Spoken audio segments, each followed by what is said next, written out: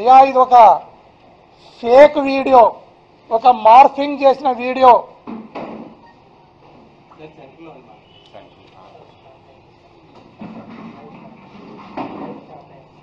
ఇది తేలిపోతుంది అతి తొందరలోనే అన్న మాట చెప్పడం జరిగింది. ఏటకేలకు దాన్ని పోలీస్ వారు ఇన్వెస్టిగేషన్ చేసి ప్రైమరీగా ప్రాథమికంగా అది ఒక ఫేక్ వీడియో అనే మాటను చెప్పటం జరిగింది. అది రుచించని తెలుగుదేశం పార్టీ అధినేత చంద్రబాబు నాయుడు గారు ఆయన వంది మాగదులు అమెరికాలో ఎక్లిప్స్ అనే ఒక ఫోరెన్సిక్ సైన్స్ ల్యాబ్కు పోయి ఒక ఫ్యాబ్రికేటెడ్ ఒక దొంగ సర్టిఫికెట్ను తెచ్చి నమ్మియాలనే ప్రయత్నం చేసి దొంగలు దొరికిపోయినారు. దాన్ని తెచ్చి అనేక రకాలుగా సర్క్యులేట్ చేసిరి. ప్రభుత్వం సిఐడి అధినేత. అదే ఫోరెన్సిక్ సైన్స్ ల్యాబ్కు ఒక లెటర్ పెట్టి అయ్యా ఇది మీరిచ్చినేదా కాదా? ఒకవేళ ఇచ్చి ఉంటే దీంట్లో కంప్లీట్గా మీరు రాసిన రిపోర్టేనా కాదా? అని అడిగితే వాళ్ళు ఇది మేమిచ్చిన రిపోర్టు కాదు. ఇది ఒరిజినల్ రిపోర్ట్ మేము ఇచ్చినది కాదు అని కుక్క కాటుకు చెప్పు దెబ్బలాగా ఆన్సర్ ఇచ్చిరి.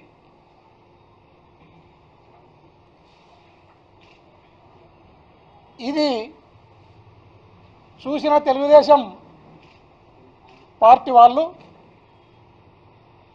కాళ్ళు గారిన పిల్లిలాగా ఇప్పుడు ఏం చేయాలనో అర్థం కాక శకునం పలికిన బల్లి కుడితిలో ఉన్నట్లయింది. ఈరోజు తెలుగుదేశం పార్టీ వాళ్ళ పరిస్థితి. ఆయనకు ఈ అశ్లీలమైన దొంగ వీడియోకు సంబంధించి మాట్లాడడానికి వాళ్ళ పార్టీలో వాళ్ళ సామాజిక వర్గం వాళ్ళు. ఆయన కోఆపరేట్ చేయక మళ్ళీ బీసీ ఎస్సీ ఎస్టీ మైనార్టీల మీద పన్నాడు ఆయన చంద్రబాబు నాయుడు గారు. ఎట్లా నన్ను గడ్డకేయండి అని. బీసీ ఎస్సీ ఎస్టీ మైనార్టీ సోదరులు ఎవరైతే తెలుగుదేశం పార్టీలు ఉన్నారో నా సోదరులు వారందరికీ కూడా నేను ఒక విన్నపం చేస్తున్నా. నా మీద మాట్లాడితే మాట్లాడుతుంది నాకు అభ్యంతరం లేదు. At the same time Telugu Desam పార్టీలో ఉన్న బీసీ ఎస్సీ ఎస్టీ మైనార్టీ సోదరులు ఒకసారి ఆత్మవిమర్శ చేసుకుని ఒకసారి ఆత్మ శోధన చేసుకుని నేను చెప్పిన ఒక రెండు మూడు అంశాలను కూడా మీరు ప్రస్తావించండి. ఒక బీసీ సామాజిక వర్గానికి చెందిన ఎంపీగా నాకు మిమ్మల్ని అడిగే హక్కు ఉంది అన్న భావనతో నేను అపీల్ చేస్తున్నా. ఓటుకు నోటు కేసులో దొరికిన చంద్రబాబు నాయుడు గారిని వారి సామాజిక వర్గానికి సంబంధించిన ఏబిఎన్ కానీ టీవీ ఫైవ్ కానీ ఈటీవీ కానీ ఏనాడైనా చర్చకు పెట్టిందా? నా బీసీ సోదరులారా వారిని అడగండి.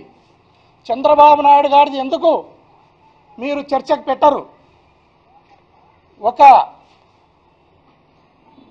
ఏసీబీ కేసులో చంద్రబాబు నాయుడు గారు దొరికి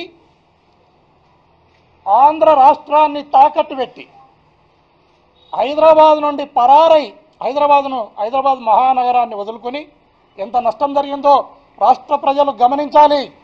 కేవలం ఆ కేసులో దొంగలాగా దొరికిన చంద్రబాబు నాయుడు ఓటుకు నోటు కేసులో దొంగలాగా దొరికిన చంద్రబాబు నాయుడు తేలు దొరికిన దొంగలాగా పరారై రావటం జరిగింది. ఆయన మాట్లాడిన మాటలు ఉన్నాయి ఆయన పంపించిన మంచి యాభై లక్షలు ఇచ్చినది దొరికింది. దాని మీద కేసు కట్టడం జరిగింది. దాని మీద ముఖ్యమంత్రి పదవి పోతుందని పరారై వచ్చి అమరావతిలో పడడం జరిగింది. దానిపైన ఒక్కనాడైనా ఒక్క నిమిషమైనా దానిపైన చర్చ పెట్టండి అని ఏబిఎన్ని టీవీ ఫైవ్ను ఈటీవీ వారిని అడగండి నా బీసీఎస్సీ ఎస్టీ మైనార్టీ సోదరులారా అని నేను అప్పీల్ చేస్తున్నా. ఇంకొక చిన్న విషయం పబ్లిక్ మీటింగ్లో ఎంతోమంది ఉన్న మహాసభలో బాలకృష్ణ గారు గౌరవ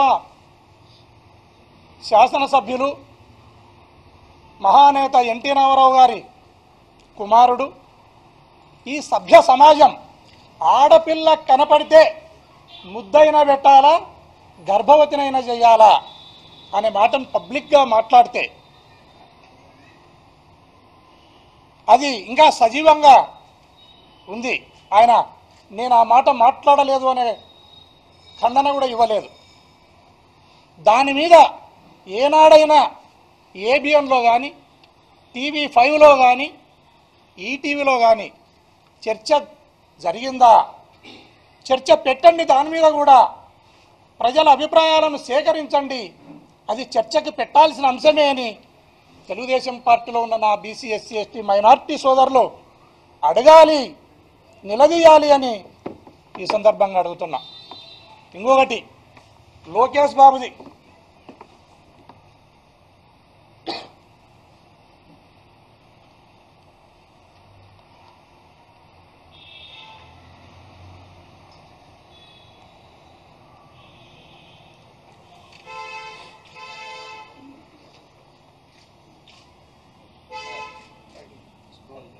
ఏ రకంగా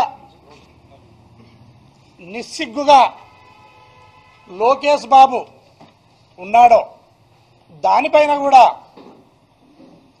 చర్చ పెట్టండి అని తెలుగుదేశం పార్టీలో ఉన్నవారు కానీ లేదా నన్ను విమర్శిస్తున్న ఎవరైనా కూడా దీన్ని కూడా ఒకసారి ప్రస్తావించండి అని నేను అప్పీల్ చేస్తున్నా.